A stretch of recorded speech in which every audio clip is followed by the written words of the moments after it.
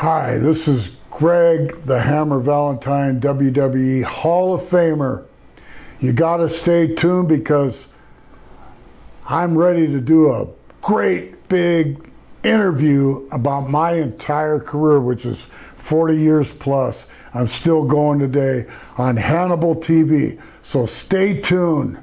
No holds barred interview with Greg the Hammer Valentine. This is Hannibal from thehannibaltv.com, and I'm with WWE Hall of Famer Greg the Hammer Valentine here in his new hometown of Las Vegas, Nevada. How are you doing today, sir? I'm great. Thank you. Ooh, I'm a little hoarse here. That's just my deep voice. I'm, I'm fantastic. I love being out here too. Yeah, the weather uh, is pretty nice. I guess you don't have to worry about the the tropical storms that you'd have to worry about in Tampa. All I have to worry about is moisturizing. it dries you up, dries your skin up out here. But you know, it's a real. It was a real good choice for me. I've been here a year and a half, and uh, after thirty-three years in Florida, it was, it was time for a change. So to start this off, what was it like growing up in a wrestling family with uh, Johnny Valentine as your father? It was like, uh, actually, it was a pretty normal life, but he was gone all the time. So. And Knobbs was telling us uh, that he was quite a ribber. Did he ever play any ribs on you? As a as yeah, a matter of fact, he did. You know. Uh, he didn't do it till I went. I, I flew down in the summer of '69. That sounds like a song. or maybe it was the summer of '70. You know, I, I, I think it was '69 though. And I I went on the road with him for three months. He was a Texas heavyweight champion. That curtailed as Dallas Monday, Fort Worth Tuesday, or maybe I got him. Maybe it was Fort Worth Monday, Dallas Tuesday, San Antonio or Austin on Wednesday. Thursday he went to Corpus Christi or a spot show. Friday was a big show in Houston with Paul Boesch. Saturday was either off or there was some kind of spot show. Sundays he had off.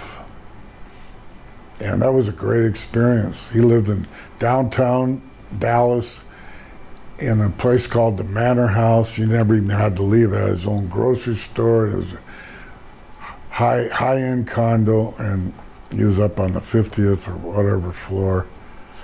It was a lot of fun. And everyone says he was one of the, the toughest wrestlers and one of the most believable wrestlers. Why was that, in your opinion?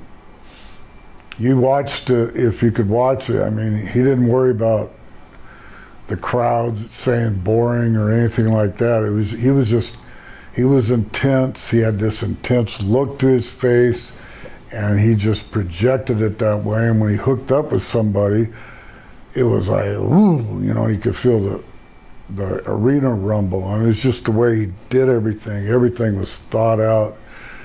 You might some people might say it was slow.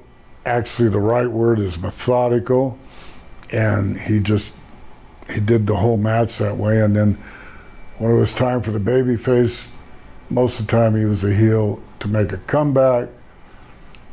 Then the action would start, you know, and then he'd cut him back off. And he was so believable that, you know, I remember watching matches and I'd be down at ringside. I was just a 19 year old kid or 18 and, and, um, you know, just everything was just so solid. The matches before that, you know, I could tell there was there was a big difference. When did he actually smarten you up to the business? Because he doesn't seem like a guy that would have told you at a young age. Yeah, you know uh, he was very disappointed because a couple of guys I can't even remember their names, underneath guys, and they they showed me how to go up for a slam and they showed me a couple other things, and I'm thinking, oh, these guys, and, and explained to me why their their matches looked so uh, set up or like they had a routine, and and uh, so it kind of gave me a. When I told my dad, somebody told me, how, someone showed me how to go up for a a slam. He goes, "What?" And he's driving the car. They told you what? And it was like he wanted to hit me, you know. He hit me a couple times, and uh, you know. And I guess his favorites were the laxative ribs. He loved his, you know, his ribs always had something to do with poo poo, or I could say shit, I guess. S H I T. A lot of those ribs were done with that, and they some of them were, you know, they. He's was notorious, and everybody knows about these ribs, and uh, he would deposit, make little deposits in guys' bags. Uh, that, not necessarily he would hate them or anything, but it was just like the new guys that were coming around. He would literally shit in their bag, or he would have a styrofoam this a styrofoam cup like like this, and he would somehow curl it like a Dairy Queen and set it behind them in their little locker space. He was, it's like, what? You know, you never heard of this kind of stuff, you know, and uh, he he uh, very good sense of humor. I remember, you know, back in the old days, that Dad would carry uh, honey around with him. A lot of the other wrestlers did too for energy. Yeah. Uh, as you know, other than they take a little swig of whiskey too. No pills or anything back then, you know, and, and uh, one time he had this referee, was in San Antonio. He had this referee and he had a bunch of honey in his hand and he hit him in the ass and the guy went out to uh, wrestle and he or referee a match between a bear and somebody else but the bear had a muzzle on him, you know. so he hit him with a honey. He knows he's refereeing this match against a bear and a wrestler. They had those back then, you know. Man versus bear, wrestling bear. So as soon as he got in the ring, the bear smelled the honey and he took him down and he was licking his ass. the referee finally got away from him, you know. That, that, that was a kind, but, you know, he had the muzzle on, but he still got him down. Yeah. And the fans were, they were going nuts. It helped the, probably helped the match. Yeah. so when you were uh, initially trained for pro wrestling, who was it that actually trained you? Uh, Stu Hart. Stu Hart was the first one that, that really smarted me up. In the dungeons of the famous dungeon, all it was really is a basement in his big house. He had a big three bedroom house and it was in the basement. What were your initial impressions of Stu? Because we've all heard the story that he was impressed with your arms when uh, he met you for the first time. Yeah, he picked me up at the airport, and uh, he didn't have a driver, but he had a big, long uh, Fleetwood, like a limo, Fleetwood. And uh, he had, I was getting my bag, and he goes, "You had big arms," and he was feeling my arms and he talked like this. Uh, Stu's a great guy. Yeah. What happened uh, with his cats every time the phone rang? Somebody told me to ask you that. Actually, I'm going to use this on my comedy routine, but it'll be funny to hear me do it live, I'm sure. But uh, Stu had a way of talking. Uh, you know, you'd call him, you know, and he, a promoter would call him or a wrestler to get booked, and he would be on the phone for an hour. He loved to talk. And it took a while for him to eh, eh, between the eh, eh, to get the words out. Eh, you want to come eh, September or eh, you know, it was always like that. So it took forever. But he had a pencil, and he'd always had that pencil there, and he'd use that like a magic wand or something. You, you know, how just something to diddle with you on the phone all the time. The cat would come up there and circle around him, and and he would play with the cat's ass or his balls with the eraser part of the pencil.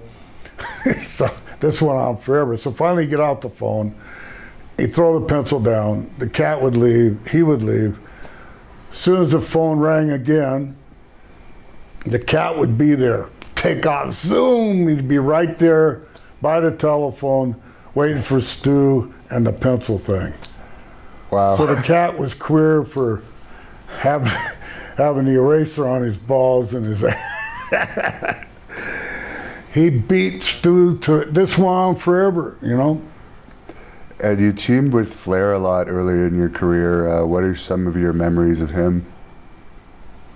Crazy, great guy, great talent, just crazy.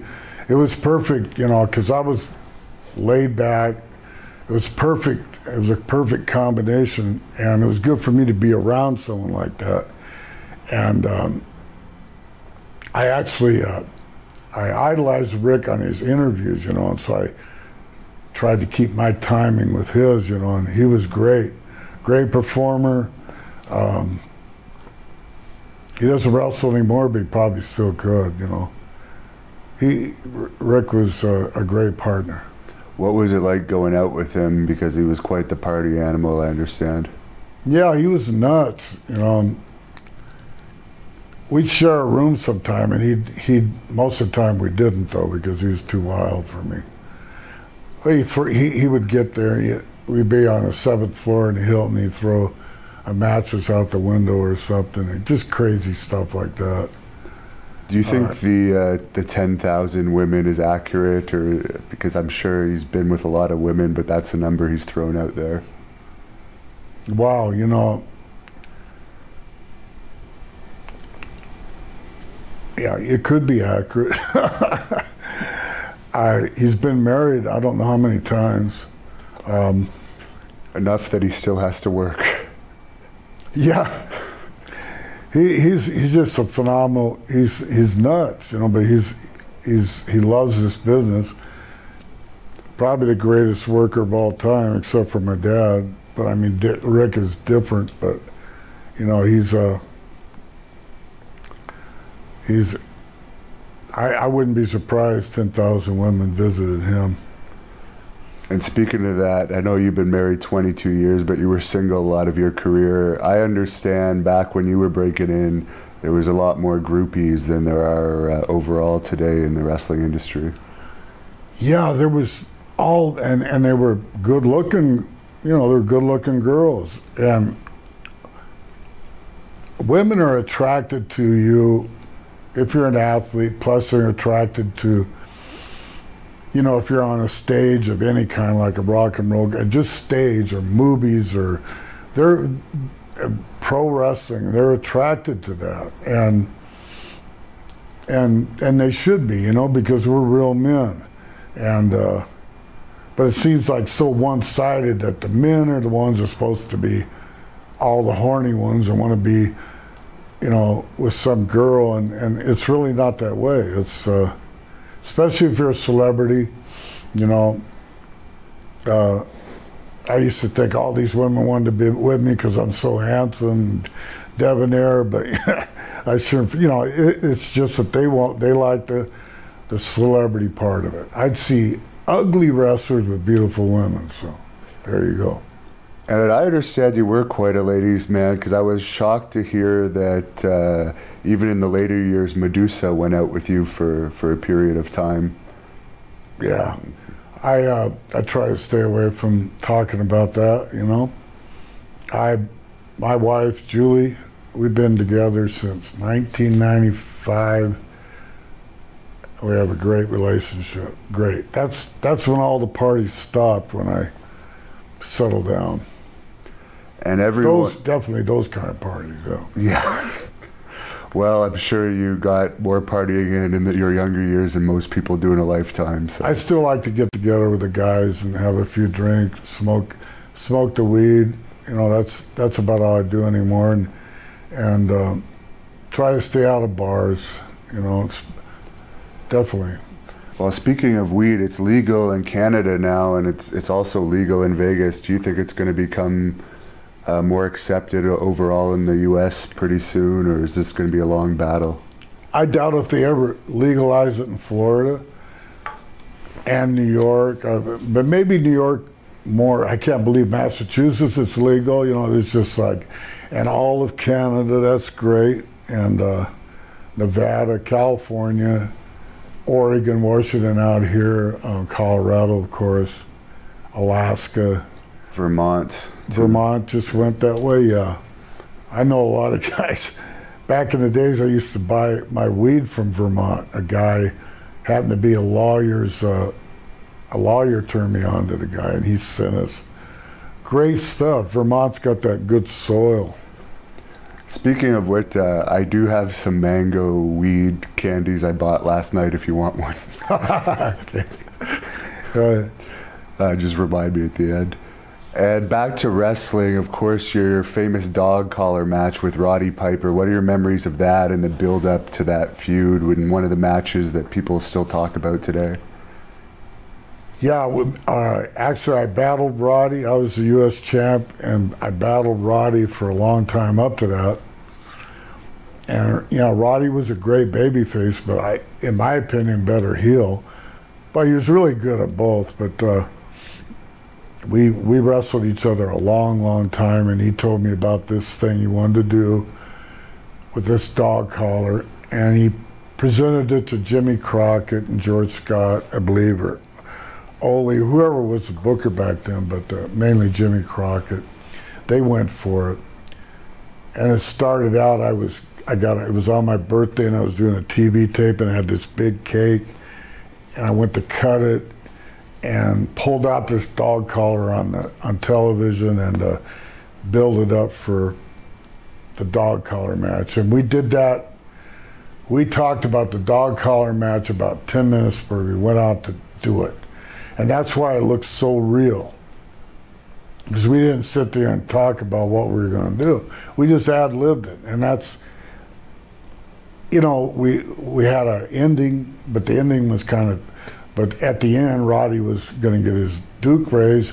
It was a U.S. title match, but it was non title. And uh, we just made it, made it a real gruesome match. And Piper had some little tricks that he told me that we could do with it by stretching the thing out, and, you know, on the chain, and because uh, he brought that dog collar from Oregon, and uh, so we said, let's go do it. Let's steal the show. Let's knock it out. Let's. This is for the people because we got paid pretty good, but not nearly as much as we should have. You know, should have been a hundred thousand dollars or a million. Yeah, that was the very first Starcade, wasn't it? Yeah, and it was actually the very first uh, pay per view for wrestling, but it didn't go into the cable at, at, at your home. You had to. It was closed circuited, like they did boxing back years ago, and you could go see it in a theater or bar or something. I think, I think of sports bars had it, you know. And I know you were around Dick Slater a lot in those years. Uh, do you have any stories about how tough he was? Because you always hear he was a guy you wouldn't want to mess with. He just had those big. He was. He didn't even work out that much. He was just a raw-boned guy that knew, knew how to punch. He could punch your lights out, you know, and and uh, yeah, he. Dick was a, another real good friend of mine. He passed away and he had a they actually did something where they operated on his back. They did the same thing to Hogan too. They operated on the wrong side of his back. They screwed him up even worse. This is in Florida, so you want to get operated on, go somewhere else, like Rochester, Minnesota or something, or Cleveland. They have great hospitals there. But yeah, they messed him up and he was like on a walker or a thing that you drive around for a long, long time after that. And then you get all, take all these Oxycontins and stuff, and that messes you all up. So you really had a rough life after the wrestling part. But he was a great wrestler, tough guy. And speaking of wrestlers that have had a rough life after the wrestling part, Billy Graham's not doing too well these days. Uh, his mobility's bad and he has a heart condition. Do you have any memories of of working with Billy Graham or being around him? I guess you were probably both heels. in Calgary, he was breaking in when I was breaking in. Oh, so, you were there from the start. Yeah, Wayne Coleman. And big, big arms, and he, he was really, uh, he impressed me. Um, he learned, same time I learned, you know, and, and Billy, uh, Billy turned out to be a good worker, but he was more the razzmatazz, uh, interviews. I mean, he didn't go out there and go an hour Broadway like I would or Ric Flair, but you know, he, he did what he had to do, and he really got over it, especially in New York. And somebody told me to ask you about getting in a fight during the 79's trap match with Chief Jay Strongbow. Yeah. And this guy sued me, by the way, and it was on, uh, it was on video and the WWE's lawyer was taking care of it for me. He calls me up. He goes, you know, he says, this is bad. It's on video, Coliseum video out on VHS. And you can see the guy, he reaches over to grab, I, I, I was grabbing a chair and he's fighting with me, the chair. And I pulled the chair with him and popped him. And he just, he wobbled, so I hit him again and tried to knock him down. and um, it was all on video, so he's suing me. And then uh, I guess he didn't have, you know, he, he was a loner or something.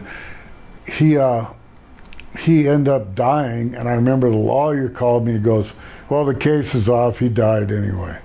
and then a, a, woman in Roanoke, no, Norfolk Scope or Hampton Roads Coliseum I was wrestling Wahoo and we were chopping the shit out of each other, going back and forth. And I once again I went to grab a chair, and apparently I tore this woman's arm when I grabbed the chair. And she sued me too, but she died too. So that's a warning. You try to sue me, you're gonna die. Everybody died. and of course, uh, you had a lot of championship matches against Bob Backlund that were pretty good uh, back when he was world champion? Any memories of those and what kind of a personality he is? He's a great guy and another good friend. And I remember when I first went to New York, and they built me up about four months on the TV before I ever went to the garden. And we did, I did figure fours on everybody, and, and they would carry him out, everyone, on a stretcher. So it's very believable back those days. And uh, so I'm thinking it's going to be a everybody's got short matches in New York. I watched them, and they pulled here, and and they did everything. It wasn't believable. I said, "This could be a cakewalk for me. I was just going to grab a hold because I'd never seen anybody wrestle before, and and uh, you know, be something new." I used to talk to my dad after he had the plane crash, and he'd always be saying, "Yeah, you grab a hold and wrestle." They'd never seen that before you know, you'd be able to do a lot. So I'm thinking short matches, and they come up to me and they go, it's the first night I've ever was in the garden, and they go, we want you to do a straight through 60 minute match with Bob Backlund. And I heard Bob Backlund was really hard to work with. Uh, but you know what? After 10 minutes, he he got winded a little bit, and so did I. And then I'm used to doing the long matches. And Bob was beautiful, and we had a lot of great matches after that. You just had to tire him out a little bit, you know, because he used to flop but he was in tremendous shape. In a shoot match, I wouldn't have had a chance, you know. Do you think he would have done well as a heel if they had turned him earlier during Hogan's run as, as champion? Because he seemed to do well in the 90s as a heel, but he was past his prime by that point. Yeah. Yeah, he could come off like running for president or something, some yeah. crazy guy, or he could do the Wall Street gimmick with a like Mike Rotundo did with the IRS. You could do something like that, change his whole gimmick, have him have him wrestle with his with a suit on or something, or suspenders, and yeah, that would have been great for him. And of course, you had that uh, memorable feud with Tito Santana. Any memories of that? Just fabulous matches. Tito was perfect the angle was perfect where I figured forward him after I beat him. And he had to get an operation anyway, and it was just done so well and so believable. And and you know every every match that I had was Tito was a classic, and we actually went out back in the, those days. The WWE, WWF, whatever, ran two to three shows a night. So Hogan would be on one, and Tito and myself would be on another one. So we didn't need Hogan to sell out; we'd sell out anyway. Right. Yeah, because they had the A, B, and C shows in those Right. days.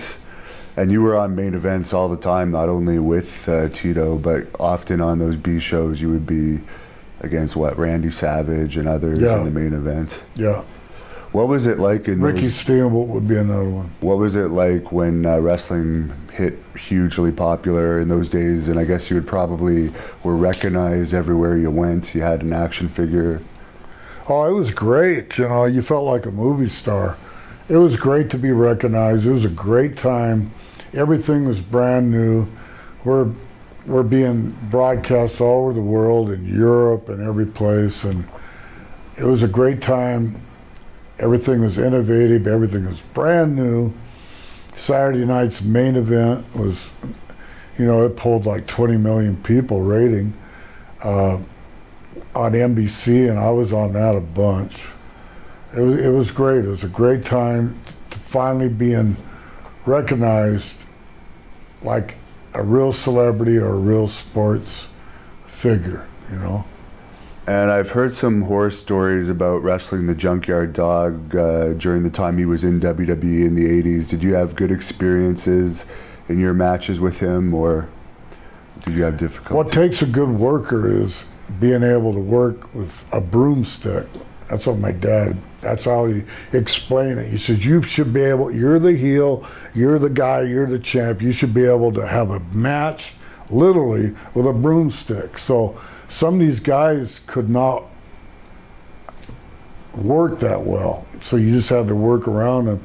JYD would hear the crowd. He had four or five things he did, and I just made sure he liked to do that dog thing where he'd run and give you a headbutt. I'm thinking that's so silly, but I, you know, I ended.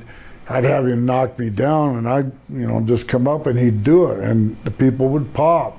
So you just have to to uh, work around every and, and adapt yourself to every style. I can't go in there and work with Junkyard Dog like I would Ric Flair or Tito and chop him, and you know I'd still get a few chops in there, but you, you know, he wouldn't like that, you know, and I don't want him to beat me up because he really was a, a good, mm, I don't know, wrestling, no, just uh, big tough, big tough guy.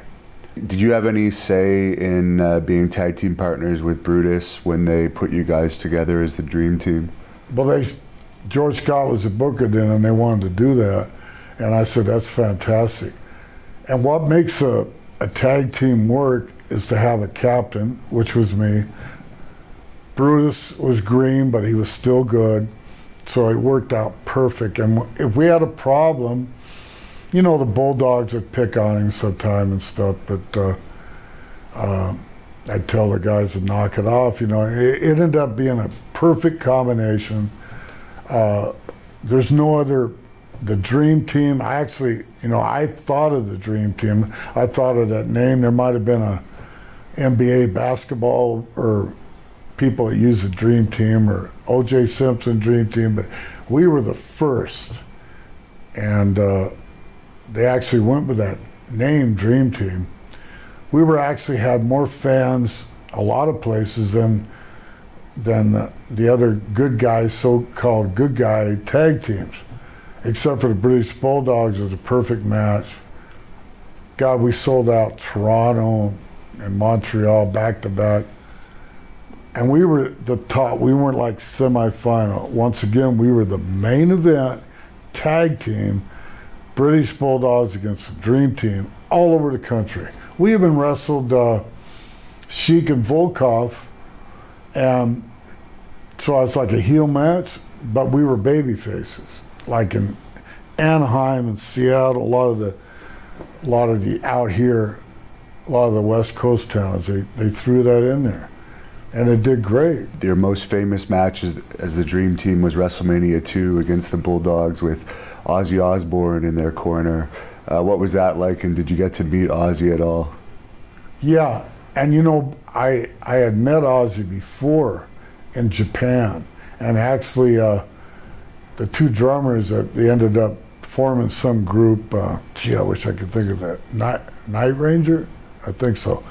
They formed Night Ranger later on, but they invited me and Adrian Adonis. Speaking of Adrian, God bless him. We were down in the bar at the Keio Plaza high-end hotel where we were staying. They invited us. We had a day off, and they invited us to come to the show. We sat on the uh, we sat on the stage with them, and it was fabulous, you know. And then I don't think he remembered. I said, "Remember Tokyo?" I don't think he remembered that, but Ozzy's, you know, he's a trip, man. I love that TV show he has with his kid. I'm really impressed that he's still alive with all the drugs he's done over the years, but I'm happy he's alive. I'm a big fan. Me too. And you mentioned the Bulldogs uh, messing with Beefcake a little bit. Uh, did you notice the ribs that they were playing in the dressing room? Obviously, the most famous was the the stuff that led to the Rougeau incident, but uh, mm. I heard I heard they messed with Outback Jack a lot too. Yeah, they. Uh, we could talk about this because both of these guys have passed away. So, and Outback Jack, I don't know where he is, but they they halcioned him, and that was a sleeping pill that you would put in someone's drink, and so he was knocked out. And he always wore that hat, so they took the hat off, tore it all off. Then they shaved his head, and this is all on an airplane, and people are looking at that. they put big, they didn't shave it all the way, just a big tract, uh, you know, and he was like, and then they, they plastic, they put super glue on the hat and put it back on his head. So he couldn't get it off. When he did, he tore his hair off. And I wasn't around. I just got away from that, and I got away from when he was, uh, when he was uh, getting his bags and stuff. But I heard he ripped the hat off, and it was a horrible scene. And Outback Jack, so ended up, Outback Jack shows up, and Jay Strongbow sitting back to the hotel. You can't wrestle like that. And you know who got fired? Outback Jack. Well, I guess he was a dispensable one. I heard he was pretty hated overall, though, backstage by everybody. He thought he was a big star. Yeah, he just didn't have the personality to fit in. Here you come in, all these WWF stars. There was about 15 of us, maybe more, but around that number that were being used real good. And we were like a family, and it was hard to break into. And you could tell this guy was an ass jerk. He just couldn't acclimate himself to be one of the boys. You gotta be, you gotta be able to take a rib and, but stick out for stick up for yourself. And uh, it was hard. It was hard, you know. And after you split up with Beefcake, you teamed with Dino Bravo for a while as a new Dream Team. Uh, any thoughts on that and the terrible uh, death that happened to him with his murder?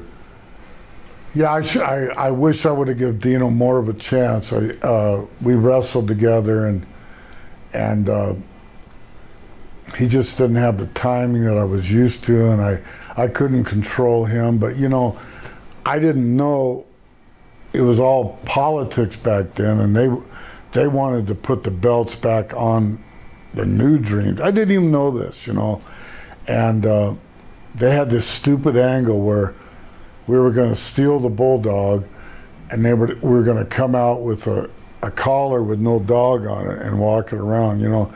And I guess that would have been good, but back then I'm I'm serious, Greg Valentine. I didn't want to go for it, and we actually put over the Killer Bees one time in Madison Square Garden, and I, you know, I said, okay, you can take the fall on me. So I just had him, I was going for the figure four, and one of them jumped out the top rope. It was a good finish. I thought about myself, but at the same time, it really pissed me off. And so I quit. I got on the airplane the next day. I had like 14 bookings coming up.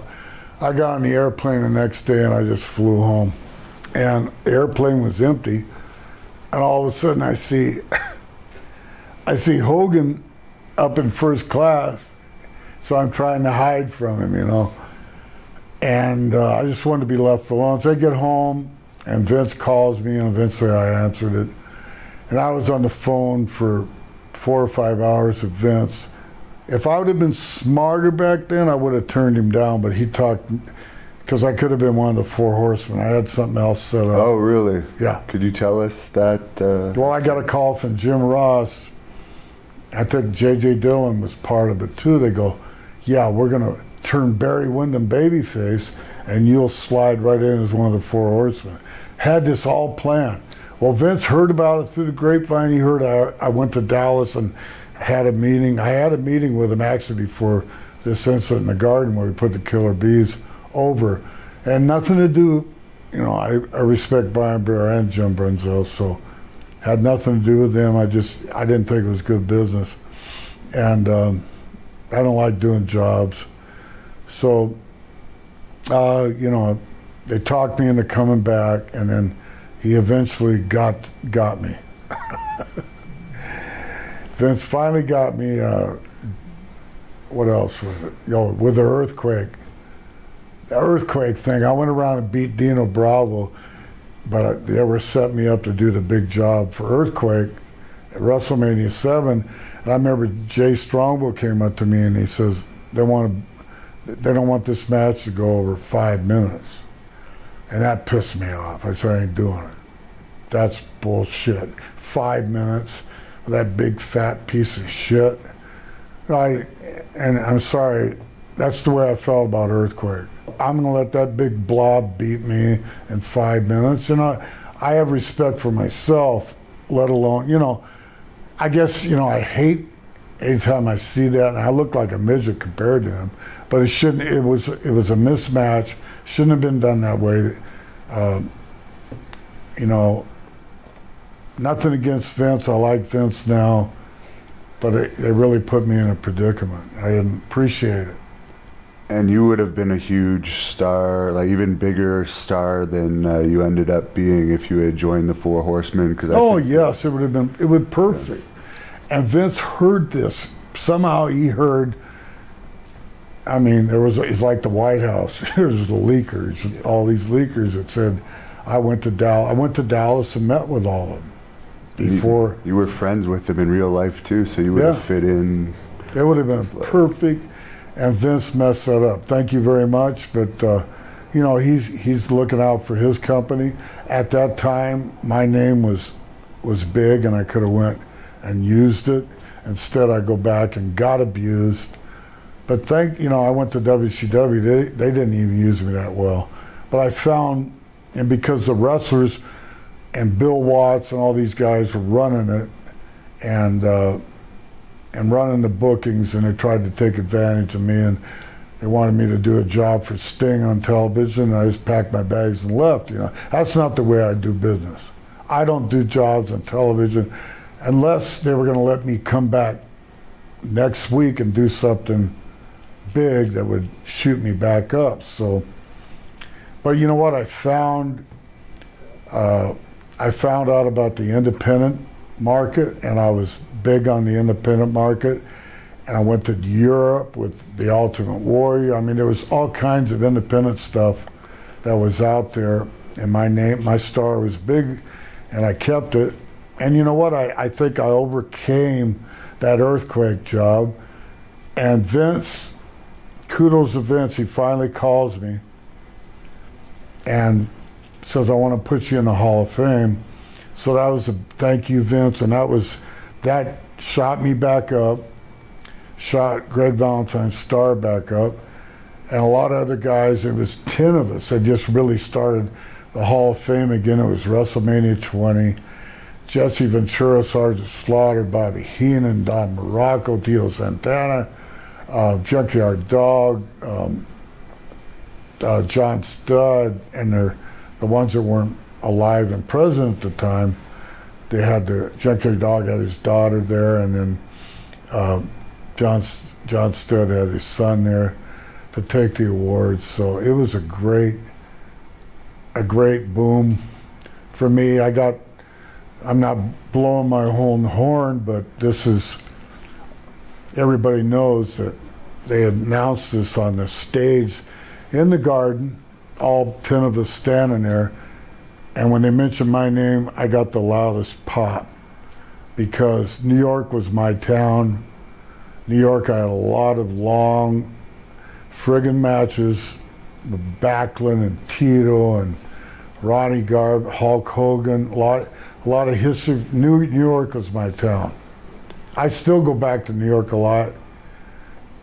People still want to come and see me and get my autograph. New York was my town, still is.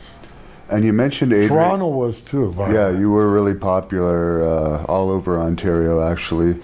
But uh, you mentioned Adrian Adonis earlier. Were you there for that infamous fight he had with Spivey? No. I was sick. I was at home very few times. I called in sick, and uh, I missed that. It was in a, I think it was in Green Bay. Uh, it was in Michigan, I think Flint, Michigan. Okay, Yeah. yeah. so it wasn't a TV thing. No, it wasn't. Yeah, I I heard about it. Oh my God. Uh, they tried to take, I guess, I don't know how it really started. It started in the ring, and and Spivey got mad, and Adrian disrespected Spivey and said some, called him a jabroni or something. Don't mess up. And then he, so when they got, I guess he nailed him a couple times in the ring. Spivey did. I don't know how the match turned out, but it, it, it got screwed up. So Adrian, uh, so Spivey went to Adrian and uh, said, "What the hell are you doing?" And, and then, or Adrian, vice could have been vice versa, but Adrian, long story short, shot for him, shot for his legs, and Spivey was there and just beat the living hell out of him. I two days later, I I showed up the Rosemont in Chicago, and I walked in, and here's Adrian. It looked like a friggin' alien movie. His head was this big around, and he showed up to wrestle Hogan, and they wouldn't let him. I mean, it was like I'd never seen anybody beat up so bad in my life, and I've seen a lot of that. This is unbelievable. I mean, just oh my God. Uh, he survived it, bro. Oh. Did you get along with Adrian behind the scenes? I did until they turned him to this gay Adrian Adonis, and then a couple times I went up to talk to him, and and uh, I don't know. He said something real condescending to me, like, "Oh, now you want to talk to me?" All of a sudden, I go, "You know what? I don't ever talk to you again." I walked. I, I you know what? Don't talk to me like that. He's all of a sudden, you want to talk to me now. I don't remember. I was just going to say hi to him because we we haven't really talked since he, you know, it's this whole thing. I mean, blew his ego apart, uh, or shot his ego way up there where, you know, he just wasn't friendly to any of the guys. So you know, don't talk to me like that. I knew Adrian. I knew Adrian back in Buffalo before he ever got into business. Um, so. I heard that Pat Patterson, in particular, was a big uh, supporter of yours. Uh, did you guys know each other before the WWE days, or was he just a big fan of your style once he saw you in? WWE? Yeah, we just had a good relationship, and he lived in Florida. We went over, and uh, my wife and I would visit him. We just had a good relationship all, the years. You know, I respected him the way he worked. He was like a Ray, you know, Ray Stevens was his partner, and I, I got to be Ray Stevens' partner as the World Tag Team Champions in NWA. Another, they were just exactly alike. So um, I, I have a lot of respect. I love Pat Patterson. What was that saying that uh, Ray Stevens would say when he was drinking? Do you remember? Ah. Help me out. I don't. I don't know it, but I've I've just heard several people tell me that. Uh, I wish I could remember because we did a lot of trips together. Something like I'm a fucker and a fighter and a wild bull rider. That could be like it, that. right. Because he he rode bulls and he was a rodeo guy too. The guy was a tremendous athlete, and you wouldn't, you know, he, he didn't work out in the gym all day. He just had all the tools. He's the first guy that showed me how to take like an arm drag type thing and just keep rolling with it so you roll right back up on your feet. Because I'd watch him do all these bumps, hip tosses, but he would just roll instead of taking a bump and just laying there, he'd roll right back up on feet on his feet again and take another one, roll, and then finally he'd lay down and sell it. You know, where my dad would take a would not take a lot of bumps. I eventually started doing my dad's thing because I didn't have the back that Ray Stevens did. I would throw my sacroiliac out and I couldn't move. So if I sold a bump, I'd do it like my dad, a big slam, and he'd go, ah, you know, you sold it. Maybe only one or two slams, a guy pick you up, give you another slam, and you, ah, Ray was a nice flow. It was good for tag team, but single matches, I went to to the slower style, selling. And what was it like wrestling Hogan when he was at its peak and main events all over the place? Oh, it was great. He, he didn't have to do nothing. You know, I put him over on everything, you know, and he'd let me chop him and everything. But when I'd eventually get him down, he would sell. Those, he didn't have to do anything. He'd just go like this, and people, he just get him down, hold him down, boom, boom, boom, hold him down some more, and it was like picking grapes. It was just so, you had the people in the palm of your hand with him because he was over, over so much, and they fed him heels. Good thing about me was I, they would feed me to him, but I had the IC belt too. So I had something to fall back. But I could work, you know, I could take care of myself. Even if I did a job in the middle of the ring, uh, for Hogan, I'd do something where I'd beat myself too and come off the top rope and run into his leg or something and boom. They didn't even have this program, but he would tell the referee, tell Greg to jump me and put the figure four on me. So I get my heat back. I didn't come from Vince or the office, that came from him. That's being a friend. You know, so. So when did your friendship uh, start with Hulk? Oh, wow. Well, I guess when I first went to WWF, 84 or something, when they put the belt on him, uh, and I had Bruce with me later on, and I think, you know, being he, he married Linda and moved not far from me, so he was a great host. He'd had the big, a lot of guys just migrated to Florida. You know, I'm still consider him one of my best friends in the business. No ego, no nothing. The guy, the guy knew what he was. He, he's the biggest ever. How's he doing these days? I'm sure you still keep in contact with him. Yeah, he's doing great. And they're getting ready to do a movie about him. And I, I hear Bradley Cooper's going to be Vincent, man, that's what I heard. They have they have called me. I'm going to do some meetings with the directors, producers, whatever of this movie. They want to talk to me. So make I, I think they're going to do a roundtable type thing because I was from that era that they're going to film about. So there's a lot of movies that are coming. They're, the WWE is going to do a movie about Roddy Piper, so they they contacted me about that too. So and you worked with Randy Savage a lot. What were those matches like, and what was he like behind the scenes?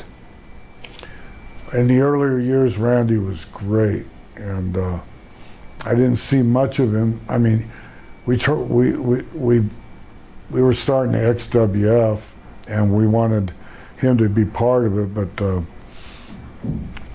that didn't work out. So I brought Piper in instead. But uh, uh in the early years, Randy was great.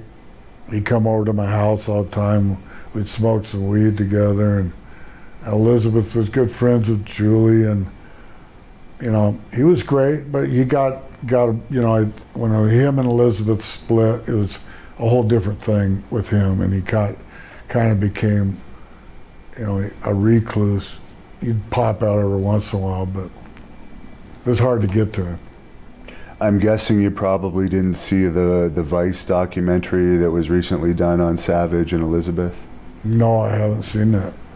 They also did one on Brody. Did you ever uh, have much contact with Brody over there? I met him one time in Chicago after the matches at a bar, and uh, well, I went to Puerto Rico after that, after the thing happened where he was murdered, and uh, you know, it's just I never, our paths never really crossed. One time, it's a. And one of the shows that you wrestled uh, Randy on was WrestleMania 4. Um, and that was one of the Donald Trump WrestleManias. Did you ever meet Donald Trump at those WrestleManias? Yeah, glad. Thanks for bringing that up. I sure did. I stayed away from him, you know. Ah, I'm thinking, ah, he's a billionaire. He don't want to talk to me. He he calls me over backstage. I think this was uh, either four or five. I can't remember which one. He calls me, he motions to me, and he goes, "Hey, I just want to tell you, you're one of the best wrestlers I've ever seen. I really enjoy watching you." And I shook his hand. I said, "Thank you very much." And then he he uh, he met Julie and everything backstage too, and then uh, he's very nice to her. So you have a beautiful wife, and so after that, I became a Trump fan. Yeah. Before that, I was jealous because he's a billionaire, you know. Uh, but I'm, I'm a Trump fan. I guess you voted for him then. Yeah, I mean, absolutely. I I I voted three times for him. And you had a feud with Ronnie Garvin uh, around the late 80s, early 90s. How was it to work with him? There's another guy I love, like Tito, and there's another guy I could hit, and then get hit harder back. But he didn't, you know, that that style that we had, and that uh, that angle that he had that we did. Some people call it a mid card match, but we ended up becoming the main event in a lot of places. And Ronnie's, you know, that style, those matches, they it all column, collimated to the, one of the uh, Royal Rumbles or something where we had the I Quit match and and that ended up, you know, I, I get a lot of compliments just like I do for the dog collar match. That, you know, the Ronnie Garvin the I Quit match with the shin guards and everything, and a lot of people love that match. So that's another iconic match. Ronnie Garvin's a great guy. When they told you about the uh, Rhythm and Blues tag team shortly after that, were you for that tag team at the time?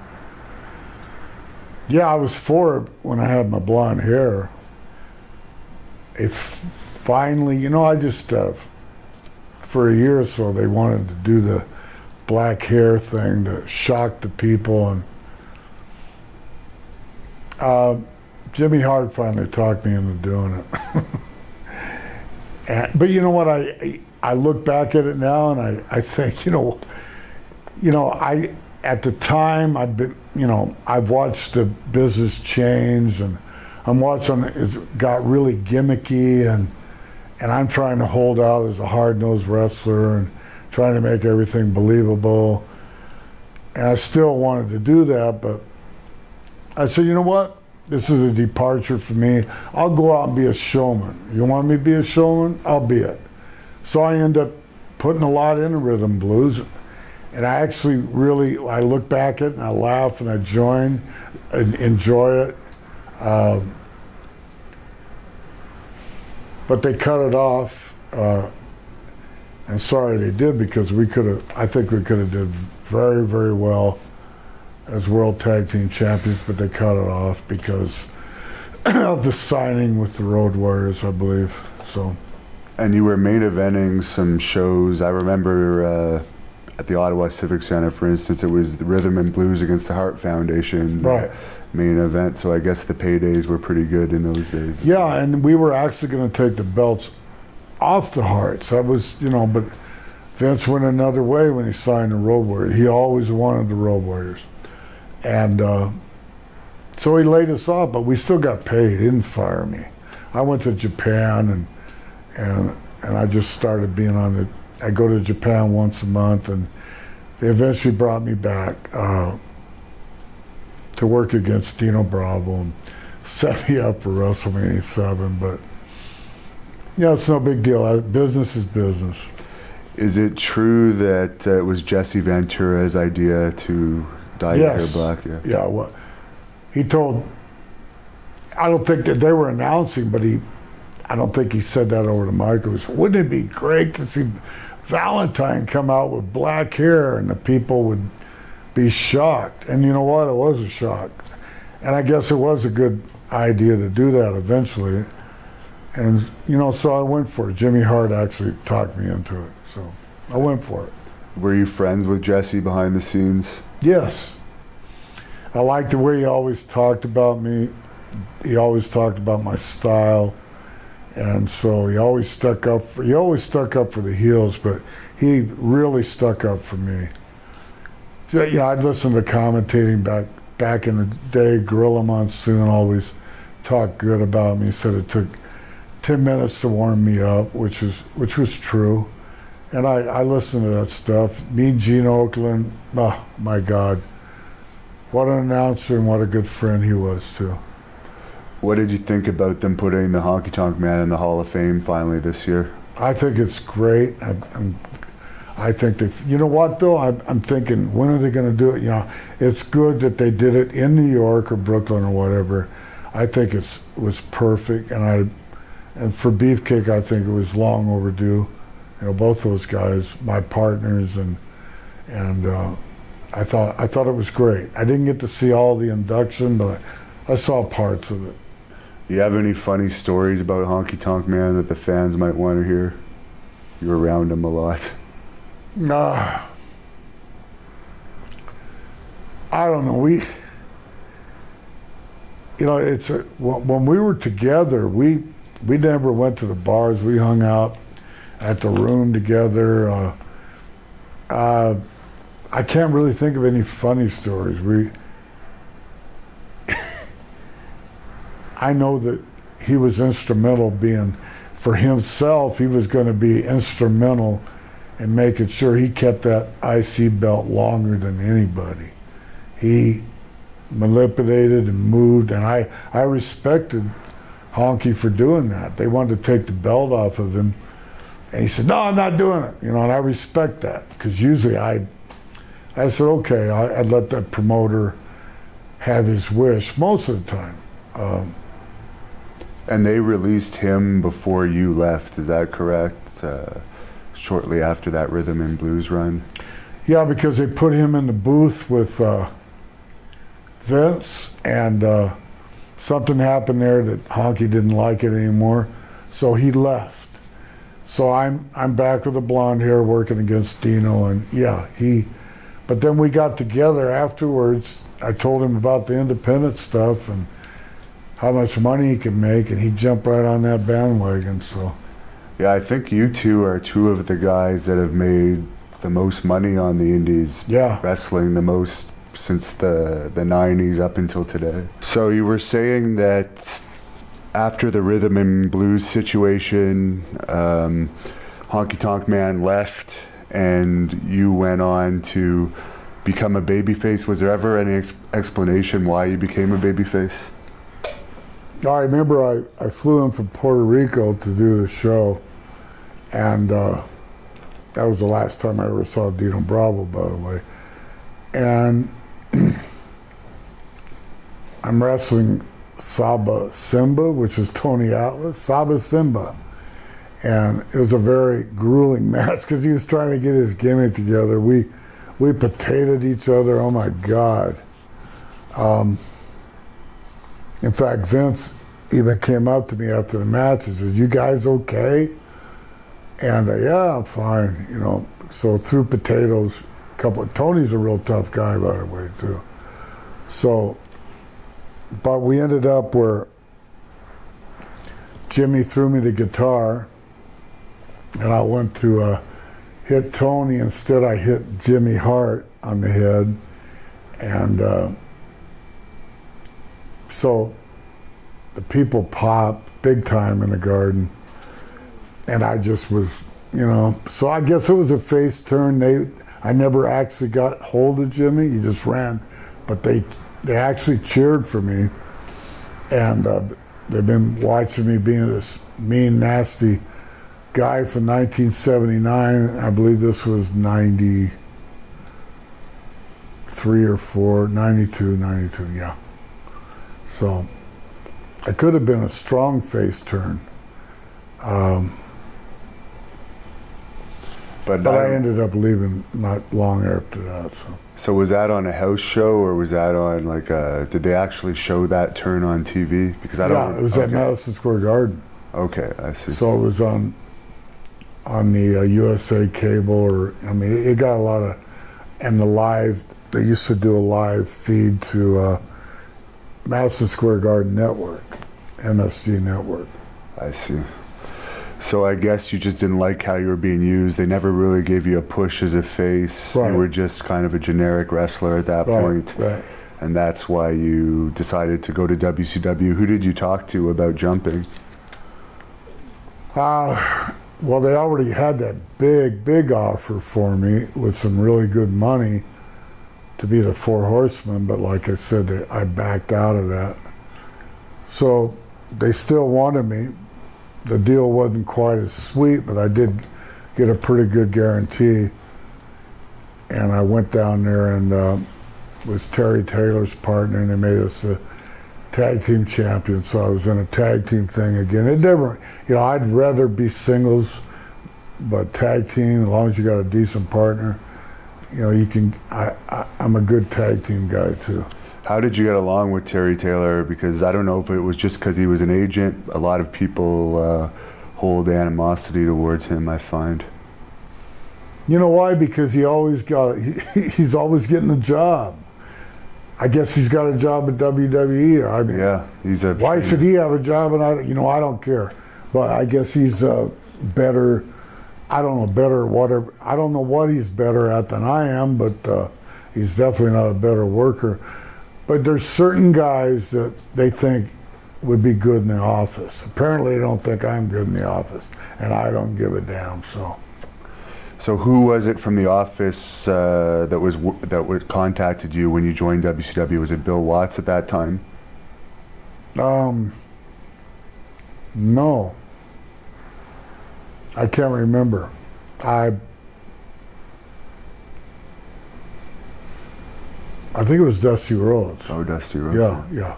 He was a booker then. You And, knew him uh, from Florida, I guess. Pardon me? You knew him from Florida and WWE. Oh yeah, he, we always had a good relationship.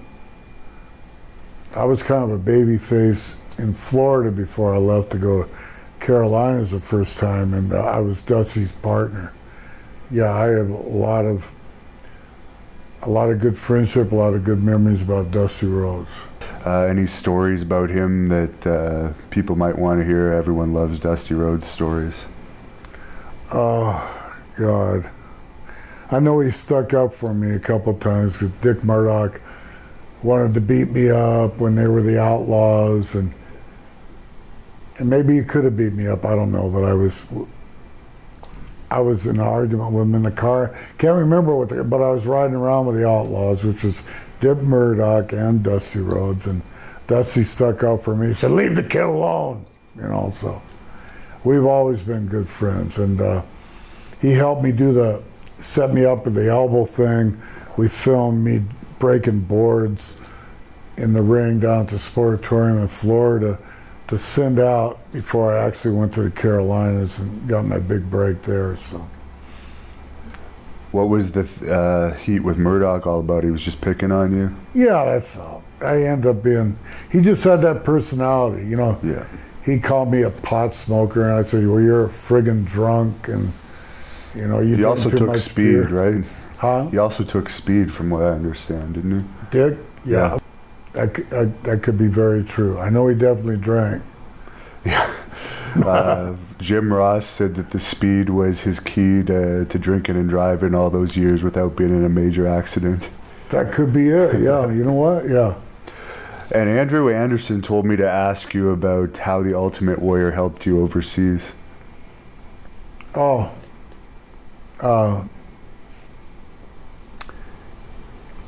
Well, actually, I, I'd never been a part of this, holding a promoter up for more money. And he wanted to do it in Vienna, Austria, and the place is sold out. I was working against Jake. I think Hercules was working with the Warrior. He says, I want more money.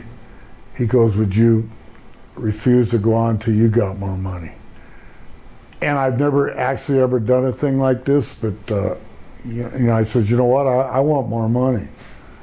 so I, we held them up, but the, the people weren't riding yet because the matches, the preliminary matches were going on.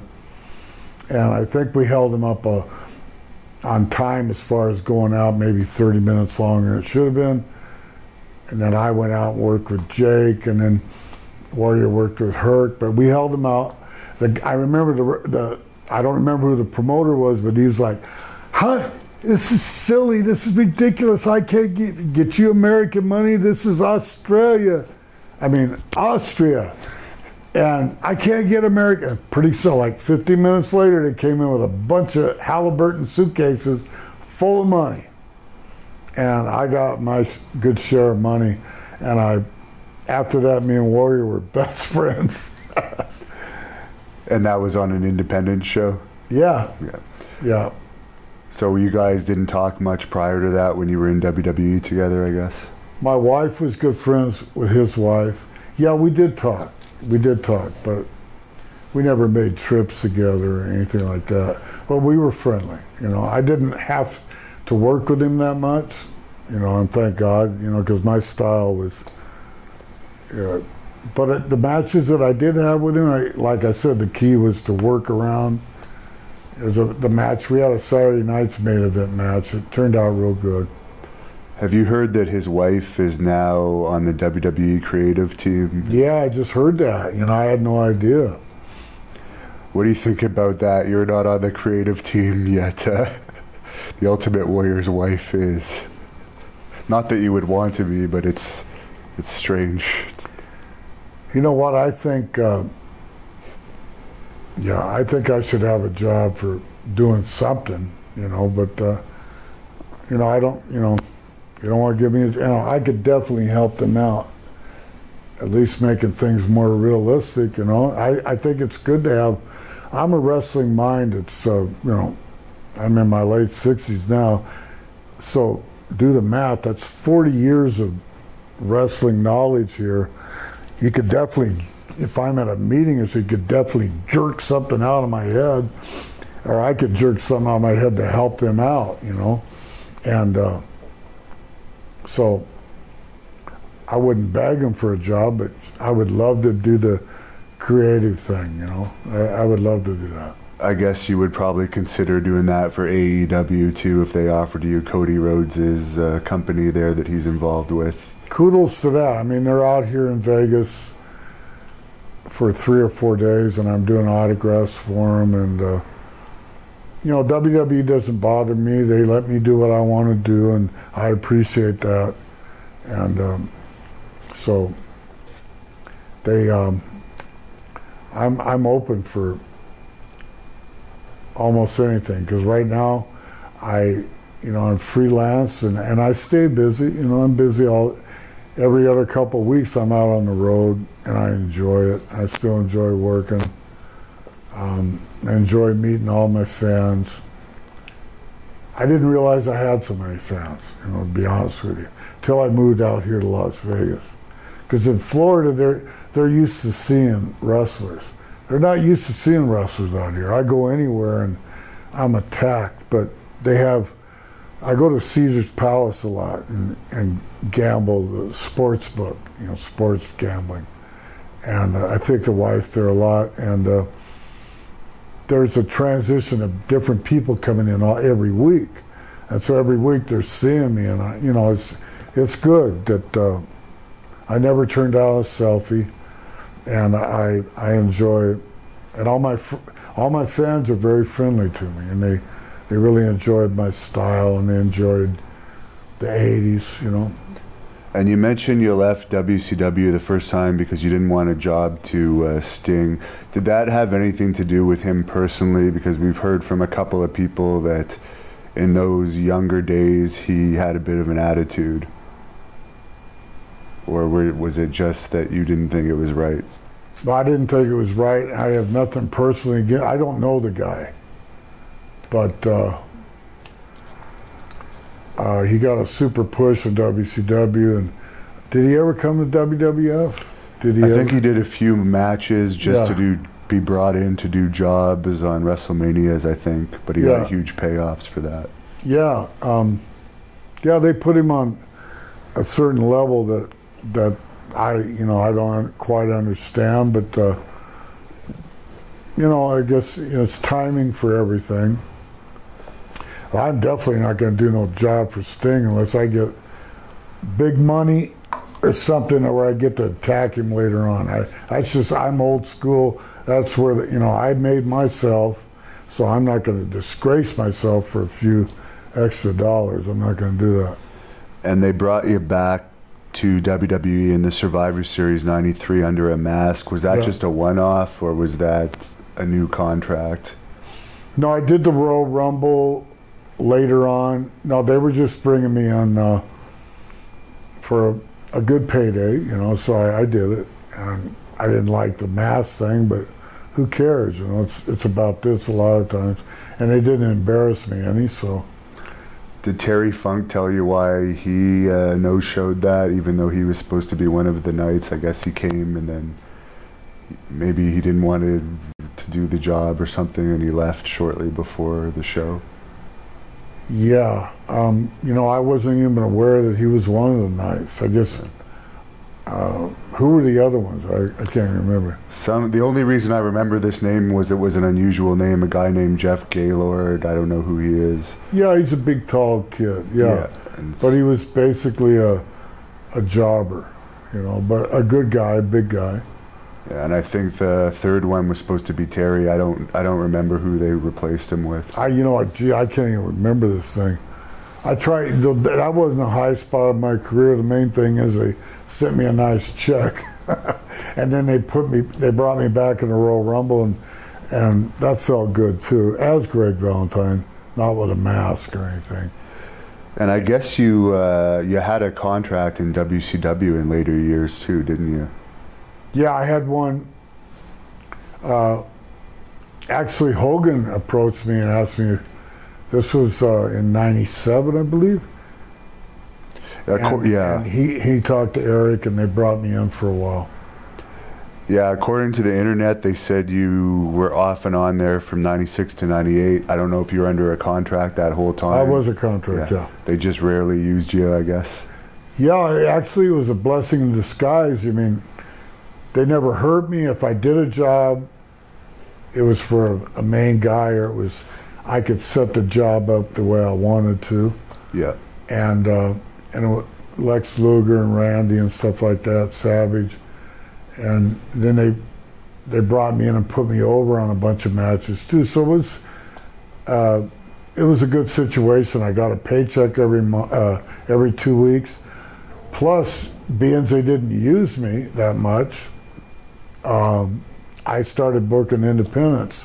So I was working independence, plus I was on the big satellite TV, and so it worked out good for me. But they eventually uh, let me go, you know. But, but I had about a year and a half, I think, on it.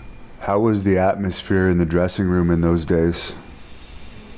Uh, there wasn't much of, and everybody was kind of like they're on a contract, and you know I got along with everybody, but it was a little different. But I wasn't really on the road with them. I would show up and do uh, a big show at Arena for them where they were televising it, and then uh, did a couple pay per views. But usually I was at where they would do the w, WCW Saturday night, which they would, they would tape at Universal Studios. So I kind of like the only time I would really see the other guys. So I wasn't actually on the road. So it was a good contract. I could do my own thing. And they used you, unlike Lanny, who I think just uh, sat out his whole WCW contract. Yeah, that's good though. If you can get money pay you for sitting home. You know, it was. I enjoyed it because I only had to go to Orlando once in a while and wrestle, and that they kept me beating guys, and then I'd tip my hat and let Sandy, uh, Randy Savage go over.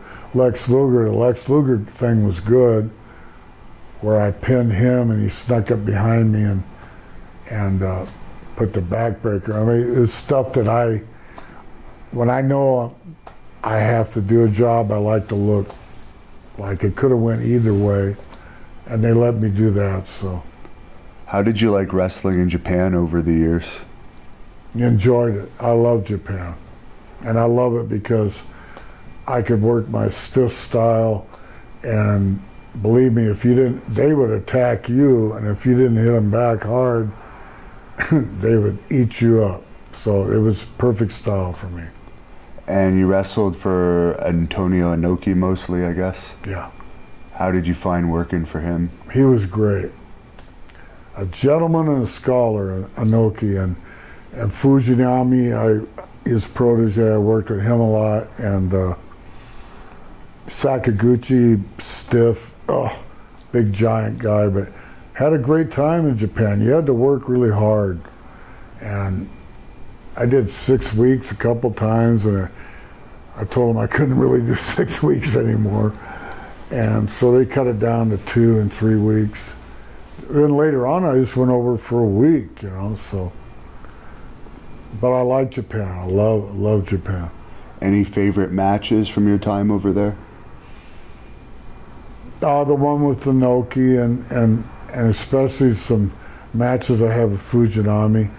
He re, he kind of had like a Ricky Steam. He had the American style down, so he was like working with a Ricky Steamboat, who was great, and uh, so memorable matches with Inoki and Fujinami, both.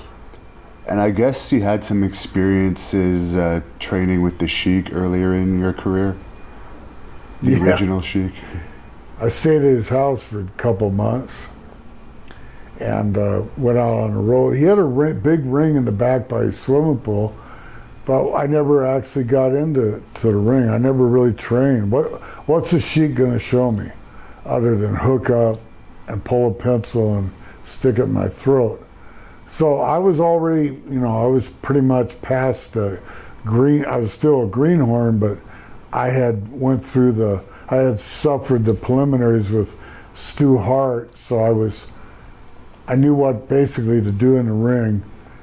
And I worked with guys like Bobo Brazil and Haystacks Calhoun and uh, Flying Fred Curry, who I had great matches with. So I, and that's where I hooked up with Don Fargo and met Don Fargo. And um, uh, as far as you know, Detroit was great. Sheik was great. He gave me this horrible name called Babyface Nelson, and I couldn't wait to get rid of that. um, but I, I wasn't ready to use my dad's name, so then I became Johnny Fargo. We went to Buffalo. It was great being Don Fargo's partner too. He, he really taught me a lot. And you wrestled for the Insane Clown Posse uh, in later years at their uh, gathering of the Juggalos events. Any memories of those crazy events? Yeah, they were crazy events. I remember going. What up when they had the gathering out in Illinois? I believe it was Cave Rock, Illinois. And me and Tito had a cage match, and they wanted they wanted me to go over Tito this time, and. Uh, but we wait. We didn't go on the. We did not go into the ring till four o'clock in the morning. This is crazy, and uh, but it worked out good. We went like six, seven minutes, and boom, boom, boom. I was out of there. Got on, went to the airport, took a shower, flew home. but the clowns are great guys. I, later on, I did a thing with them, the clown theater thing and that happened. That was going on for two years. I was their bodyguard, and, and I enjoyed all that. With their, they're super guys. What was the biggest differences between working for NWA and WWF?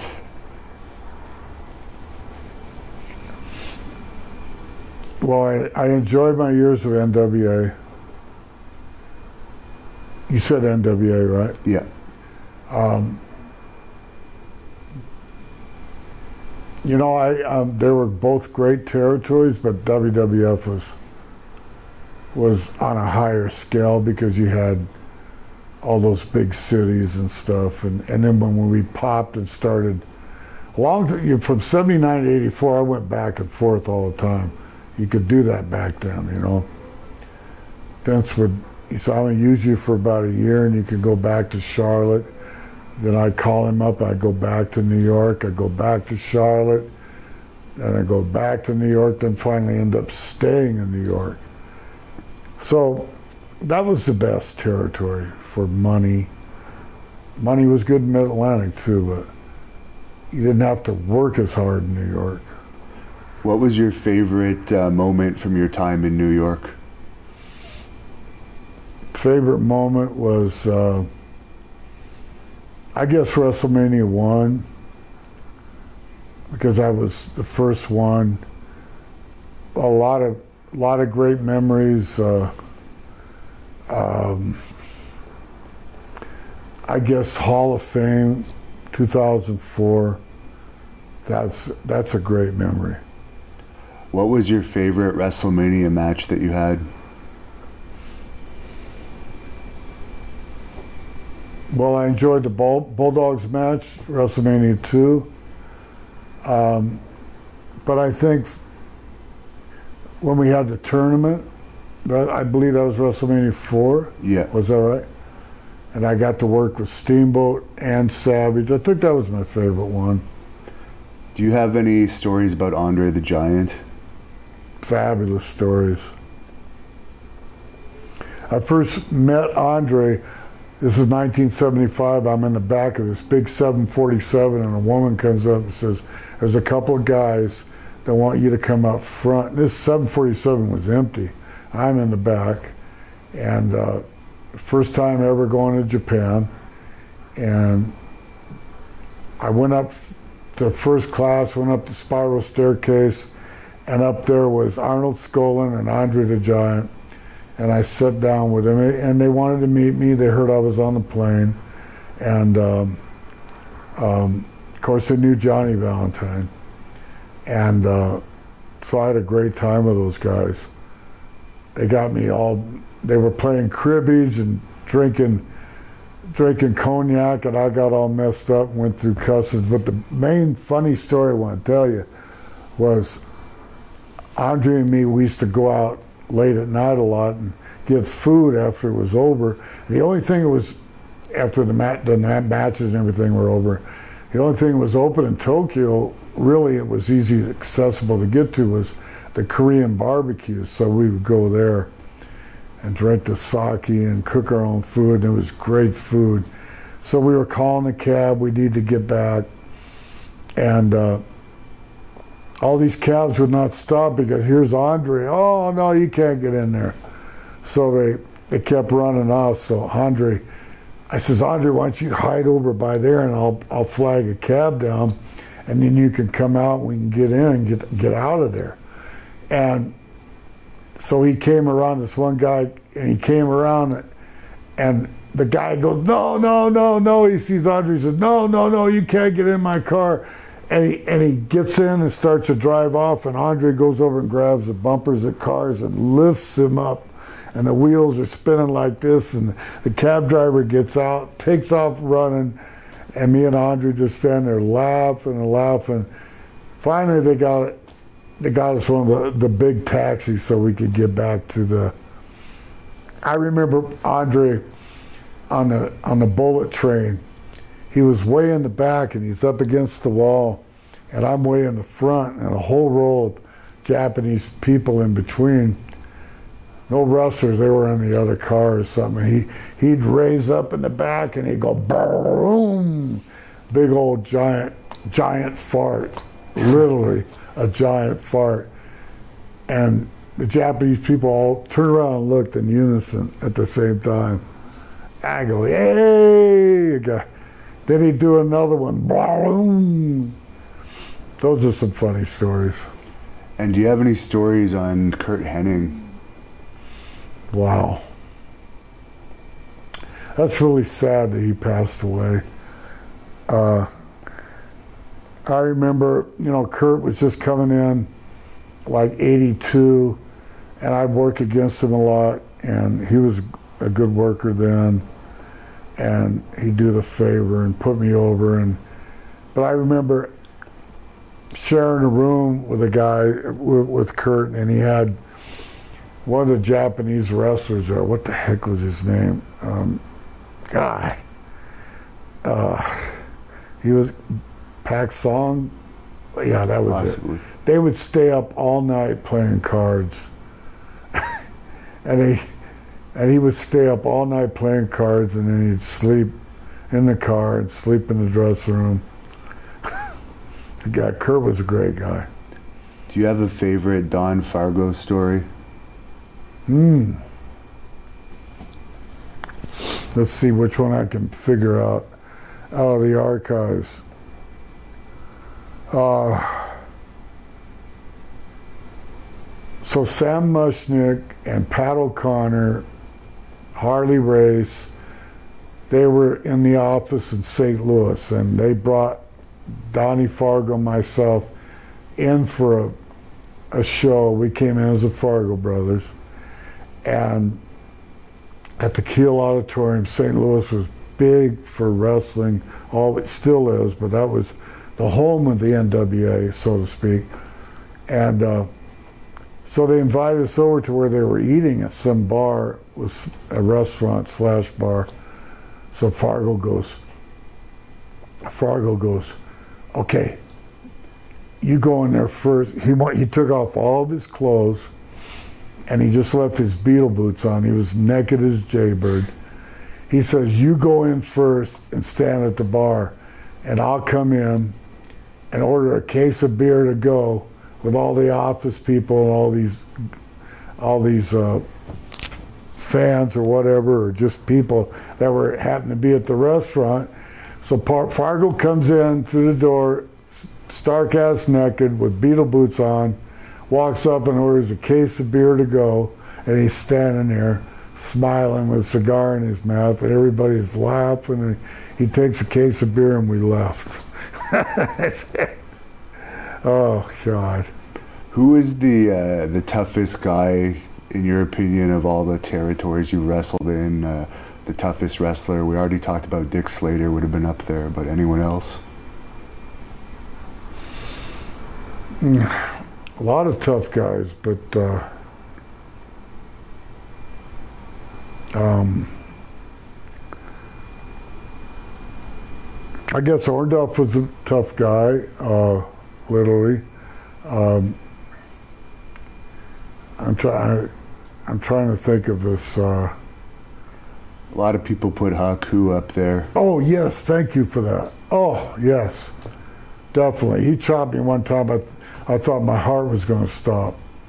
But yeah, you know, I, I could be in a bar right next to Haku or down. In fact, this happened one place in New Jersey. They wouldn't come in and mess with me. They'd they'd mess with the toughest guy there, Haku. I remember him just taking a guy down and pulling his eyeball out. He was he was a legitimate tough guy, probably the toughest of all. Were you there that night that the Rockers uh, had their bar incident before with Jimmy Jack Funk, before they were fired the first time? No, I remember. Uh, I remember hearing about that. I, I'm not trying. I know Jimmy Jack Funk got into it with Haku, and he took him down and was going to take his eyeball out. ah, that was in Dayton, Ohio, at a Holiday Inn. I don't know if that was the same incident or not. Yeah, no, I think that was a separate incident, but. But uh, yeah. And there's a lot of fans on here asking you, what's your tips on uh, having such great hair? Thank you. I have a wife that takes care of my hair and uh, a lot of conditioning and, uh, you know, hereditary too, I guess. So my Johnny Valentine, my dad never lost his hair. right up to the end. So. Do you have any old school advice for young wrestlers out there? Yeah, get a job. No, I, make sure you have make sure you have that job or that diploma in your back pocket. It's not as easy now. I don't think it's as easy unless you get in and get lucky and get a good contract. I don't think it's as easy. Well, it wasn't easy back in my day either, but um, you know, just be careful. Don't think you're just going to crack through the glass and and be a star. It's very hard. There's a lot of competition now. Who was your favorite opponent over the years? Well, Tito Santana, Ronnie Garvin, Ric Flair. Um, I put Tito first there. Um, you know, Hulk Hogan. Uh, I actually wrestled Brutus some, but um, all those guys uh, were great opponents. There's a fan on here asking if you could tell us something about Hogan that uh, not many people would know. Uh, um,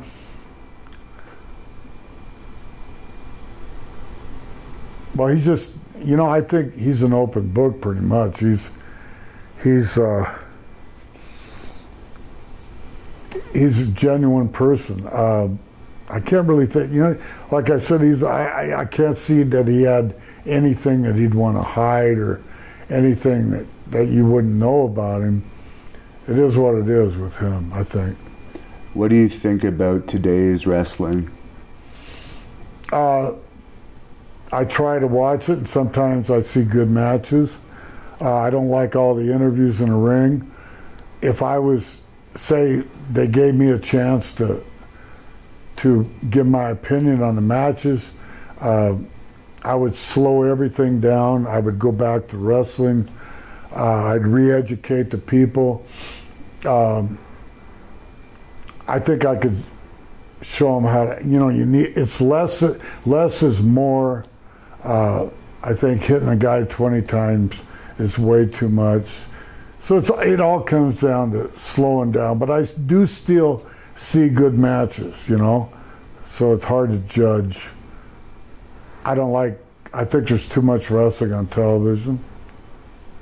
Yeah. What's your advice on being a heel? You were definitely one of the all-time great heels.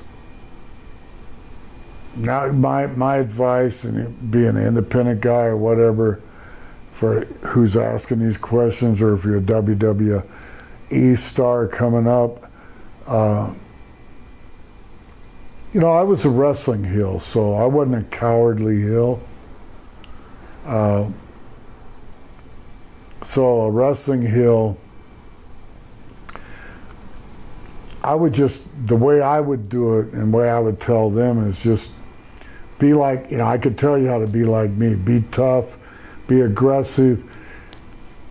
The only time you start backing up or backing down from somebody is when you're starting to get the crap beat out of you. And then you can show a little cowardice there, but you know, put the brakes on and then take back over again. But I'm from that era where I kept that baby face down until I was ready. He made a comeback. I take him back down again, and uh, never let that baby face control the match. You know, you got to keep control of it. Was Wahoo McDaniel one of your stiffest opponents? Yeah. Yeah, I still got scars all over my chest from him. But I learned how to do, you know, I, back then I didn't chop him back, you know, but I learned how to do the chops from him, which I ended up adding to my my style later on. Any thoughts on uh, Jimmy Snuka, who I know you worked with? Yeah, he's a Talofa brother. He's great guy, great star. Uh, I'm sorry to see him pass away. I really was. You have any stories on Rick Rude, another guy that unfortunately passed away? A lot of people would say Rick Rude was one of the strongest guys ever, and he was. We I'd some girl came up and talked to us at a bar one time, and he put his hand like this under her her ass and picked her up like that with one hand like that in a bar somewhere. I remember this sticks out. How could you do that, really? I mean, he, he was an arm wrestling champion, a legitimate one. So, wow. Yeah. Memories of uh, working Ricky the Dragon Steamboat. Fabulous. This guy learned how to be a main eventer in about two or three years. He got he he just learned it, and he came into Carolinas in tag teams with Jay Youngblood and the singles and the matches I had with him was just it, they were phenomenal. Any thoughts about King Kong Bundy's death? I was very shocked. I was doing a couple different uh, Fort Myers. I did a Comic Con down there. He was supposed to be at, and he didn't show up. I did another one in Kentucky not too long ago, and he did, he missed that one. And the promoter said he, you know, it was because of his feet, he couldn't walk or something. And but I did see him in New York, not too long after that, and uh, that he missed those shows. And I walked up, to, how you doing? You know, and he seemed okay there. And then two weeks later, he passed on. You know, it really shocked me. Who was your favorite commentator to commentate your matches over the years? I actually liked Vince.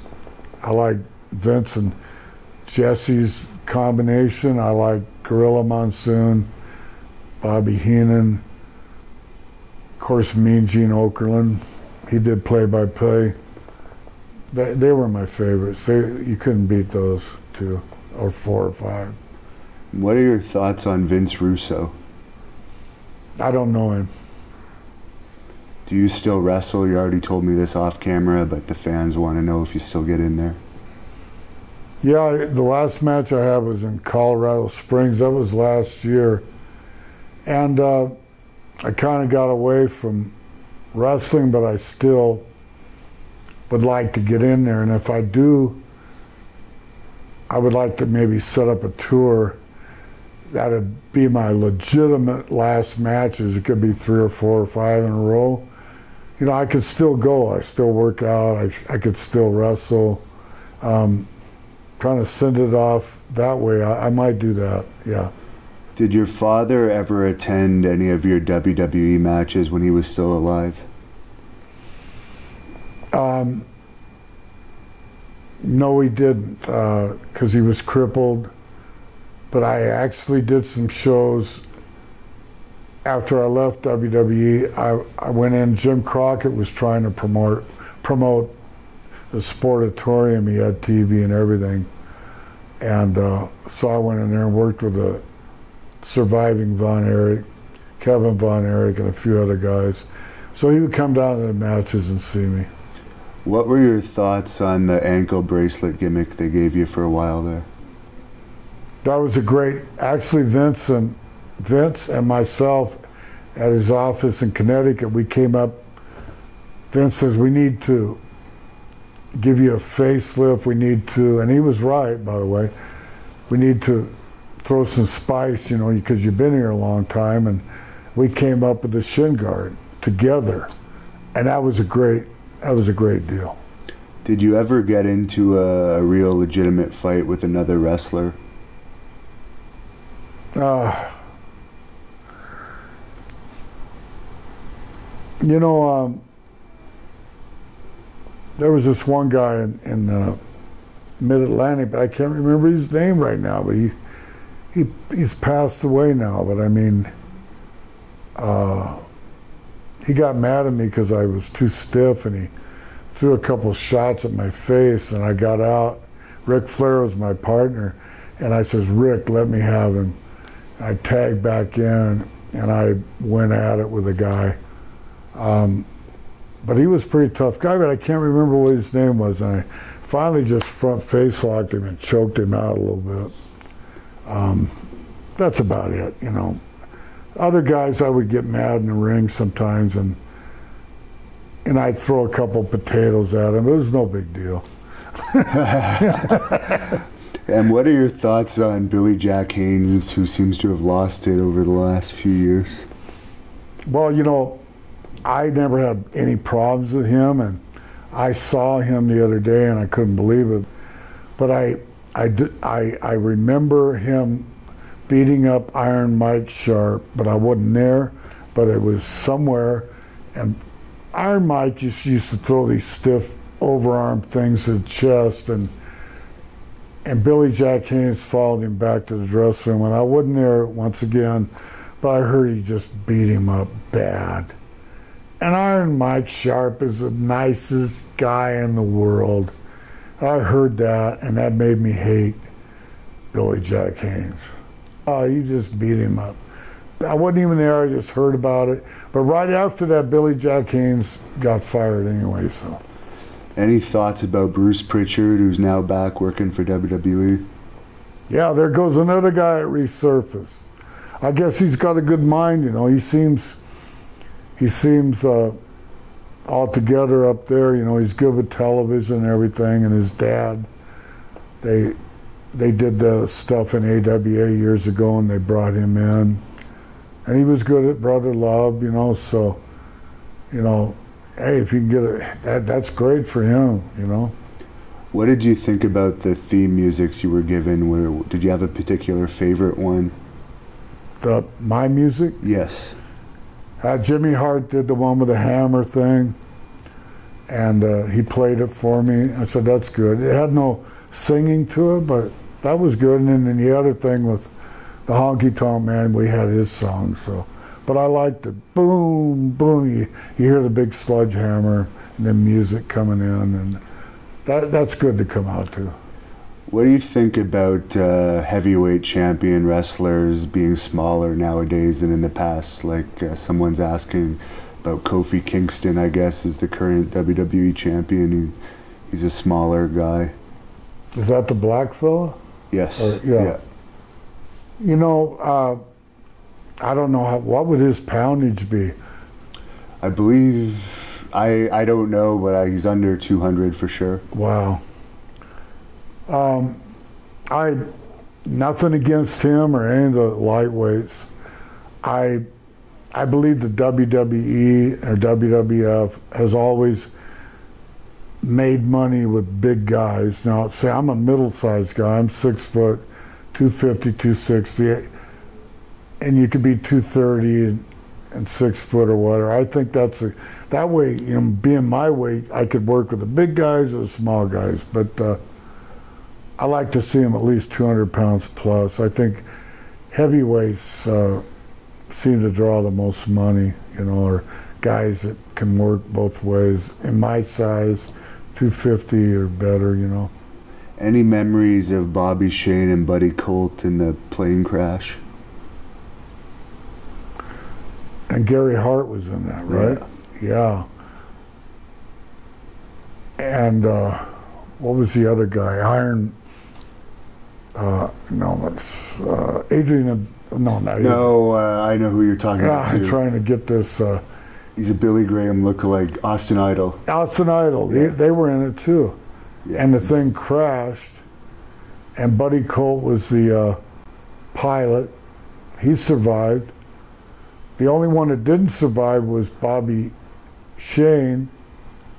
Is that, am I right, Yeah. Bobby Shane? He, he didn't get his seatbelt off and he drowned. And I guess he couldn't swim. All the other, they were actually only in about six feet of water at that Tampa Bay thing, and so they got out. Gary Hart's leg was broken. Uh, it was bad, you know, but those guys survived. Do You have any stories about Bruno Sammartino?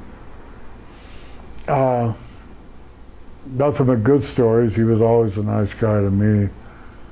I remember wrestling him twice just before he hung up the tights, and he'd take me down and hold me down, hold me down. I couldn't do nothing in the garden and the Boston Garden, but then I got my licks in, and um, my dad didn't get along with him, you know, because he was a he's ah they just gave him the belt because he was a Italian, and New York was all Italian. But Bruno drew a lot of money, and he was always nice to me. So good. I have good memories.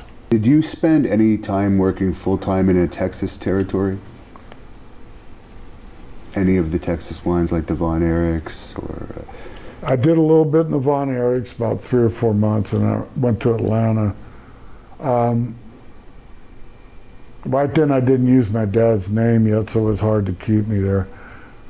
And I did Amarillo, Texas, with uh, with Donnie Fargo. Good good memories from there with Dory and Terry and, and their father. It was a great territory. Do you have any stories on work in the Boston Garden? Yeah. Um, well, you know, we we had this ramp to get to the ring. The fans were very violent there, and they would try to get to you. Back, Blackjack Mulligan, in fact, got knifed coming out of the ring. So then they built that platform. So they, they really couldn't get to me, but very rude. But they were just really into it. A worse case would might be Worcester, Mass, or not Worcester, excuse me, uh, Lowell, Mass. It was terrible there. It, you know, you're in fear for your life. Worcester, Mass, Ken Patera was coming out and he had this overhang balcony where you come out to the ring and someone threw a garbage can on his head. Wow. so, you know, wow. They were Massachusetts people. I think, you know, I, I, you know, I love the area and everything, but I think they have the fans are real rowdy there, even for other sports.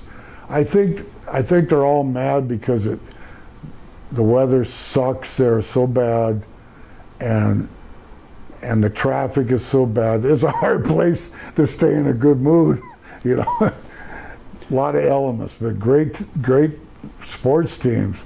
Red Sox and New England Patriots, my God. Do you think you could have had a good feud with Ric Flair over who used the better figure four? That would have been great. Yeah. Yeah. That would have been good. Any memories of Baltimore? I remember losing the title there to Tito.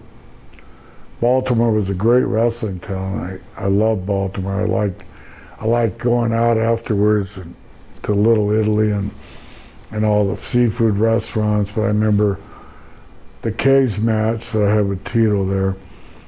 It was a great town. Enjoyed, always enjoyed going to Baltimore.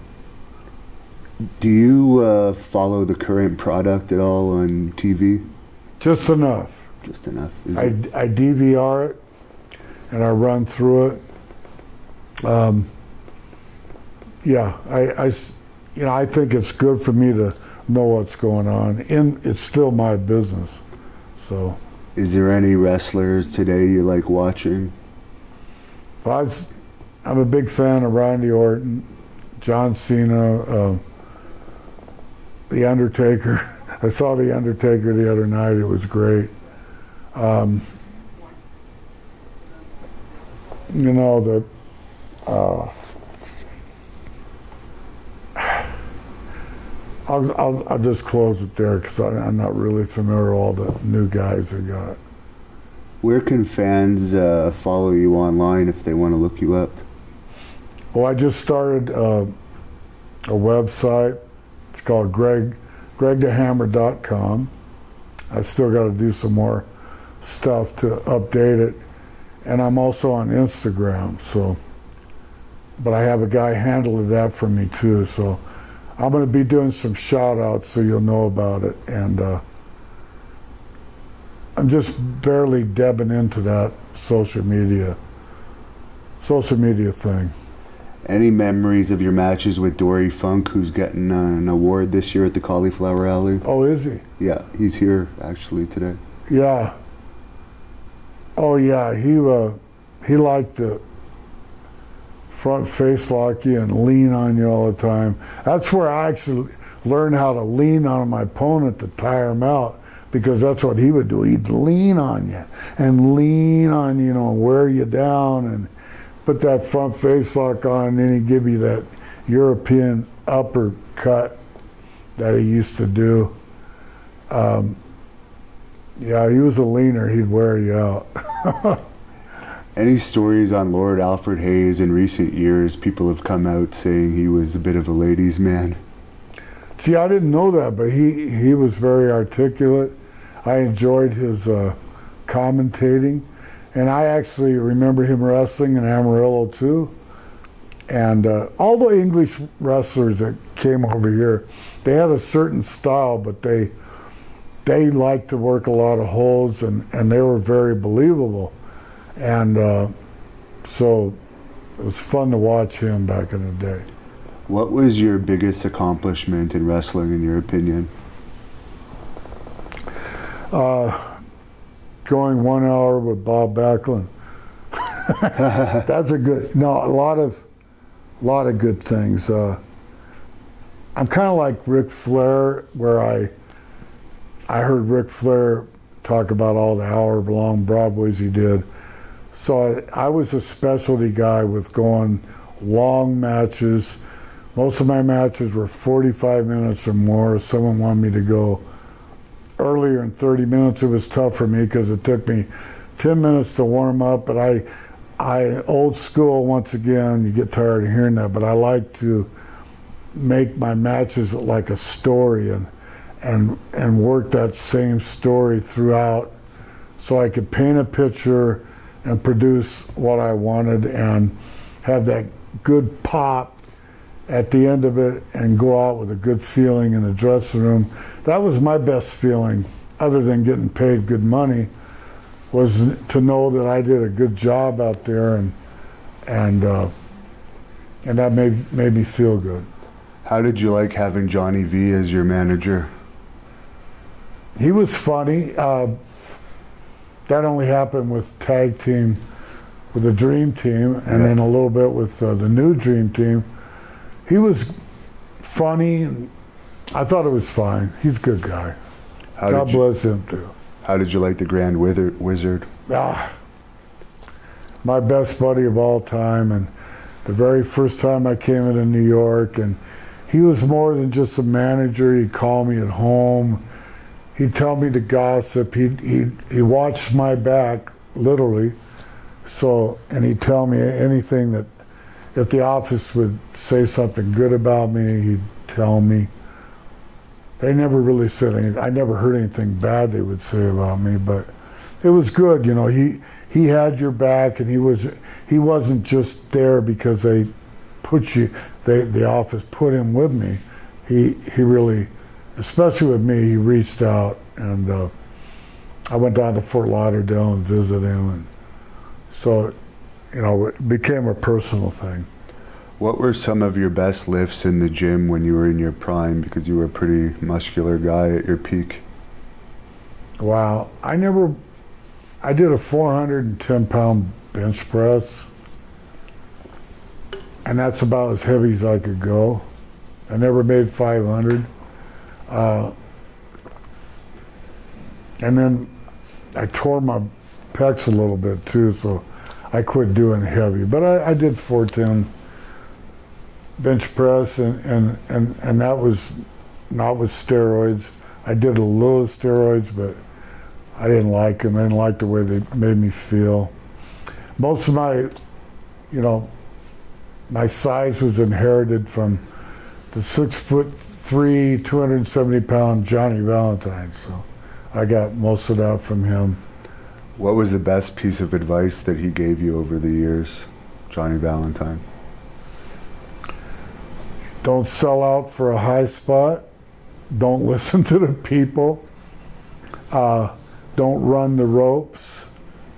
Don't do goofy high spots. Uh, act, go to the gym and work out with the gloves so you know how to punch and fight for real go work some, learn some amateur stuff because I never learned that, and uh, you know just try to make it look like a shoot. Uh, I said don't sell out for the pop. You know, he says you grind them and you, you know, you're going to eventually get the people. Make them, make them think. You know, he gave me this, this thing inside me. He said, well if they don't believe any other matches on this card tonight, they're going to believe my match. And so I, I kept that through my mind all the years. And I actually, uh, when I would get, you know, go through a long match, like 40 minutes, and I'm blown up and I'm thinking, would Johnny, what would Johnny Valentine do? And I had that inside me where it, it seemed like I would become my father. And I would look at some old matches and say, gee, I worked just like my father, except I speeded it up a little bit. And uh, so that's it, you know. Who did you like best as a tag team partner? Was it Beefcake or uh, one of the other partners you've had over the years? You've had. I liked every one of them, from Honky and Flair and Baron von Raschke and Ray Stevens.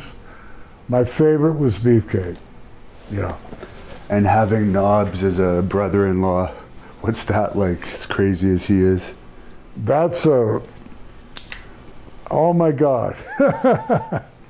I'm a laid back kind of guy, and when my wife first met him before we were married, uh, they were jumping off the roof of my house into my swimming pool, and but you know what? They they're both great guys, and Knobbs is a great guy. They're just crazy, you know, and uh, you know, for a long time I hated Knobbs as being my brother-in-law. but now I like it. So I, I got to look at that face. Or, uh, but you know, he's he's been a good friend um, all these years. So, and so is Jerry Sags too. Is there any tag team match that stands out to you as your favorite tag team match you ever had? Um, I think that we did a couple of them on Saturday night's main events. Uh, Beefcake and myself against with Johnny V in the corner against the Bulldogs. The one where we slid over, where I beat beat one of the Bulldogs. That's a favorite one, and then the one we did in Cleveland Saturday night's main event, where it was really our last shot at at getting our titles back. But that was one of my favorite matches too. They they they were, especially the first one, Saturday night's main event. Do you have any memories of Eddie Graham from your Florida days? Very articulate guy, very smart guy. He would actually, he was the first one that would kind of pattern our matches out because we're all still learning how to put in a match together. He would give us spots. You know, we had to remember all these spots, but they would work out to the finish that you were building to. So he he would take time to teach us how to tell a story when we got in the ring. He was a very smart guy. He was uh, he was a very good worker and everything.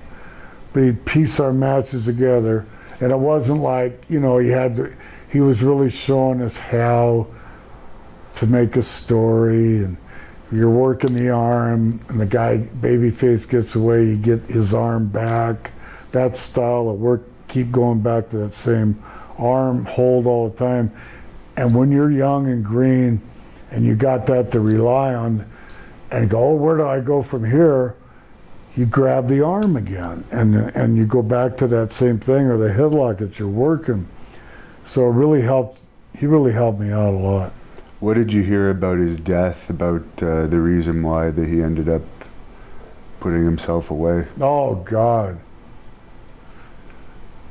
No, that really shocked me. But uh, you know, they try to say that that the WWF was coming down there taking over Florida, which they were, but he still had Florida going himself. Um, I heard the combination of things, but I heard it was a land deal gone bad.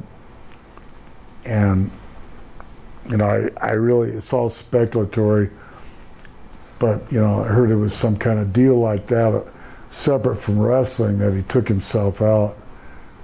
And I heard this horrible story, and I'll go ahead and share it. That he missed the first time. He just blew one side of his head out. Oh.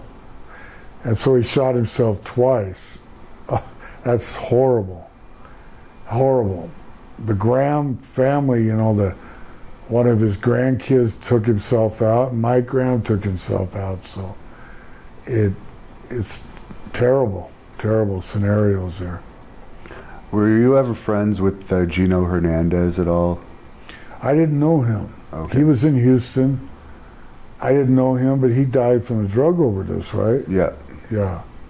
He was very he had he had it down. I heard he was really over in Texas and he was drawing money. And I don't he had some kind of relationship with Paul Blanche, maybe? Yeah, there was always talk he may have been a illegitimate son or something. Something like that. Or he was dating his mother or something. There was something there, Yeah. but yeah, he was uh he really had a promising career and he he OD'd. And I know you were pretty close with Jim Neidhart, who uh, wrestled for my company, Great North Wrestling, a lot. Uh, any thoughts on his passing? Any any w- good stories about him to share as we close this off? Well, he was he was a tremendous guy too, and he'd always go like this with his beard. And uh, my wife Julie and I would have Ellie and him over a lot when we still lived in Florida, and we had some good times with him socially. Um, I was I was really shocked that he passed away. I think he had a he had a a problem with pills, like a lot of guys have with pain pills, and and uh, the way he died, just I guess it was a brain aneurysm or something. He just took a bump, and uh, a lot of good stories. And I'm, I'm, of course, I'm close to the family where I broke in with Bret, and a lot of tragedies with that family, Owen Hart, and so Jim really shocked me to hear Jim pass away like that. What did you think about the whole thing that happened at the induction with the fan running in and taking Bret down? I heard about it, and I thought right away that it was set up or that WWE set it up or something. Then I watched it, and but I heard the reports that it wasn't. This guy was just a goof. But the way he, he came in and kind of gave him a schoolboy, you know, I'm glad that Bret didn't get hurt or anything by going, but I guess the guys put the boots to him, and that made me happy. You know, what a goofball. And is there anything you want to say to the fans or anyone that's watched this to, to close this off today? You've done great, great stories. Yeah, I just uh, I I'm being completely honest about my career, and I enjoyed all the years, and I'm still feel a big part of uh, of the wrestling universe because I've never had to get a job yet. How about that? a real job.